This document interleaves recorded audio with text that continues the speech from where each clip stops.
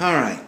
Today, we're presented with this young raccoon um, that was uh, told that may need to put him to sleep because he might have distemper. You know, I actually get little briefs where these guys come in by text message and whatever. Anyway, as we're looking at this guy now, his coat is in really good shape. Um, everything about him says he's relatively healthy, probably a little bit on the thin side. Um, and he's like super cute. We don't even know he's doing it. Man, that's just so cute. Yeah. Anyway, um, if you'll notice here, we're actually very close to this guy because he cannot see us. He's suffering from microphthalmia on both eyes. Let's see if I can. Nope, can't make that any bigger. But uh, so this one here, at some point in time in this guy's development when he was very young, it could have been in utero or even afterwards. Uh, just this guy's gene for his eye development just did not work out as well. So he actually has a big term called microphthalmia, uh, which means he cannot see. He is completely not responsive at all to any light or menace response. And I've uh, almost poked him in the eye just to see if he could see or not. But uh, the question is now, what do we do with a creature that's actually come this far, done so well at this age?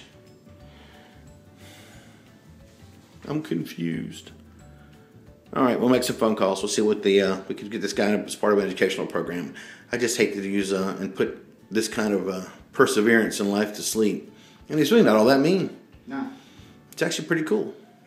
If we, Yeah. could treat, if we could vaccinate him against rabies and distemper, it's like, I wouldn't mind giving him a permanent home.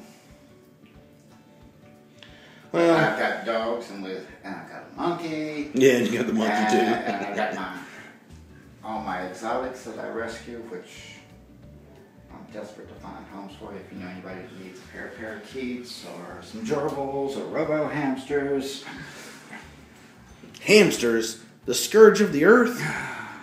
they're actually quite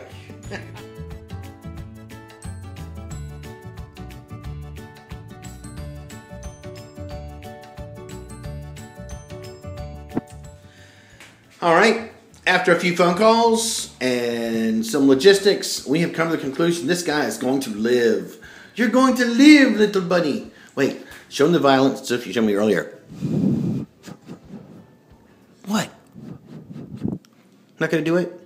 Not falling for it? No? Tickle his belly, he'll go off. Anyway, sorry.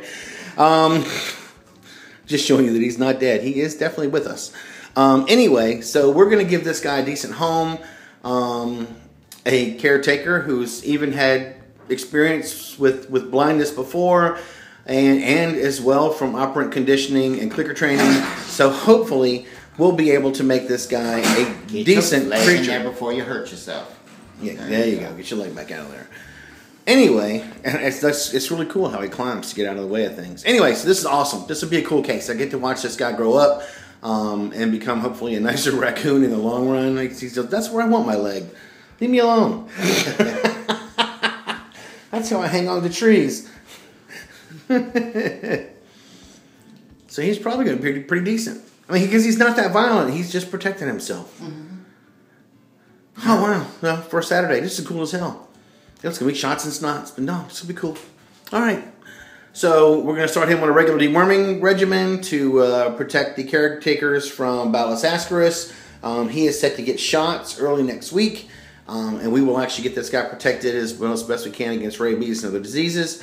And from there, this guy might actually make the one of the coolest educational animals in the world. Yeah, we can show how wildlife can come back and read Braille. Be awesome. All right.